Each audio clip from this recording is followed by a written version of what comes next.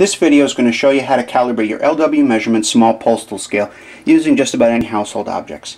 The first thing you're going to need to do is you're going to need to get a test weight. Now what I did is I took this box here and then I went out and got two 5 pound bags of flour. Put those in the box. And now you know with the box this weighs just under 11 pounds. Now to bring it to exactly 11 pounds what I did was I added some quarters and some pennies. It's about 30 quarters and 14 pennies. Now all that in total came to exactly 11 pounds and now I can use that as my test weight. Now that we've made our homemade test weight, I'm going to show you how to calibrate the scale using that test weight.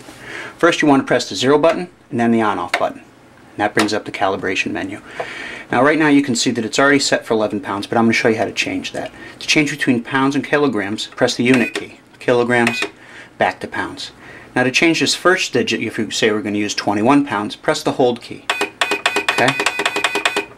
All the way back to 1. Now to press the second digit, press the 0 key. We're going to bring that all the way around to 1.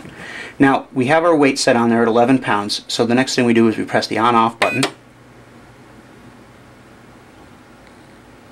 And once the stabilization indicator comes up, press the 0 key. And then it's going to start flashing, and now it's ready for our test weight. So I'm going to put that on there.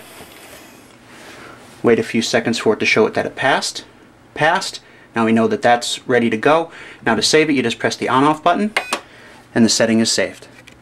Now that I've shown you how to calibrate the scale, I'm going to show you how well the, our homemade test weight worked. First I'm going to take this off, turn the scale on, and I'm going to have to use a real 500 gram test weight for this just to show you how accurate it is now.